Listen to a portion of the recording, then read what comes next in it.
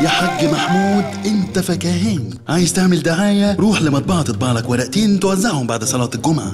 لكن إحنا شركة اعلانات كبيرة اعلانات تلفزيون. يعني هي الفاكهة شعتي. ملهاش نفس تطلع في التلفزيون.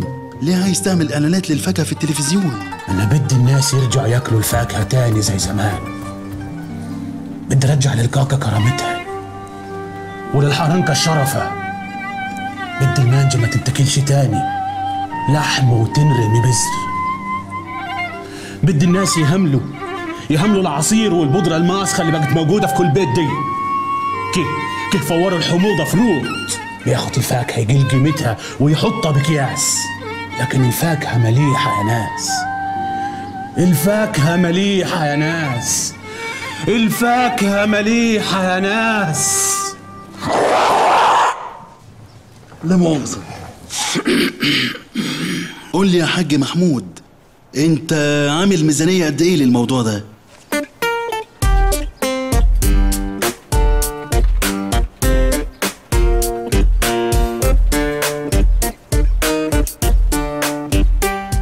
أنا مش هقول لك خش على عيالك بالمانجا عشان هينبسطوا ولا هقول لك ان في سبعين طريقة لأكل المانجا هتلاقيها في الكتيب اللي بيتوزع مع الكيس.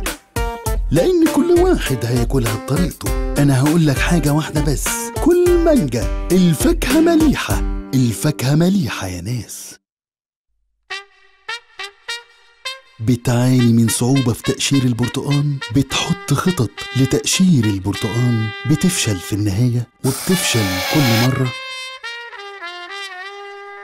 والآن اليوستفندي الفاكهة اللي بتديك مزايا البرتقان من غير عيوبه بتقشره بسهولة مش بس كده وكمان بتعمل قشرته طبق بتحط فيه البذر اليوستفندي لأنك تستحق الأفضل الفاكهة مليحة يا ناس. كل كاكا. أنا عايزة أتجوز اللي أنا بحبه. كلي كاكا. بابا أنا عايز فلوس عشان أسافر مع أصحابي. كل كاكا. والآن تحدى الجميع وكل كاكا. كل كاكا واستمتع بالحياة. الفاكهة مليحة يا ناس. إحنا ممكن نعمل لحضرتك حملة زي دي بالظبط وتكون مضمونة مية في المية. وأنا متأكد إن حملة حضرتك هتكون أحسن وأقوى. لو حضرتك اديتنا الأوكي. خلاص أوكي.